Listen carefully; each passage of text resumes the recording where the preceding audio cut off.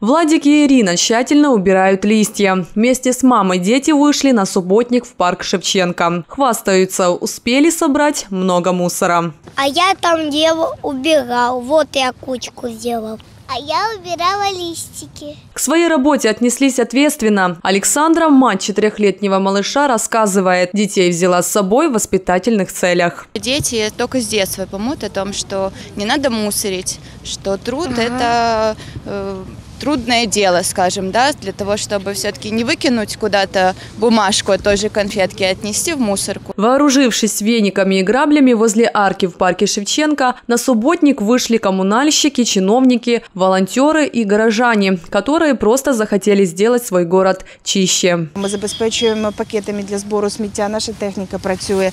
І такі е, дні я вважаю о, доцільно проводити щосуботи, тому що у нас є двохмісячник благоустрою. Ми робимо генеральне прибирання.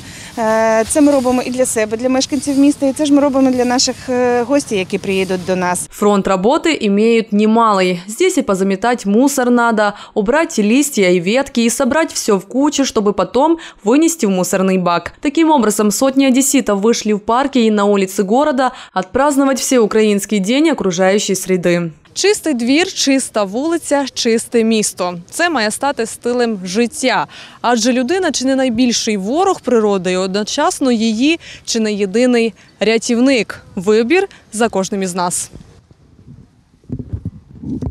Парки, аллеи, скверы, трасса здоровья, 411 батарея. Под прицелом любимые места отдыха. Особое внимание уделили склонам и побережьям города. Впрочем, кроме генеральной уборки, город и озеленили. Возле оперного театра высадили тюльпанные деревья, а на проспекте Шевченко 30 сосен. Однако главный коммунальщик Одессы напоминает, чисто не там, где убирают, а там, где не сорят. намного легче будет у, нам в городе убирать, если будут в городе меньше мусорить. Поэтому давайте любить свой город, меньше мусорить, и наш город станет чище. Впрочем, это не последняя уборка. Волонтеры организуют такие каждые выходные и приглашают к совместной работе всех желающих. Виктория Синько, Никита Каракой, канал Медиаинформ.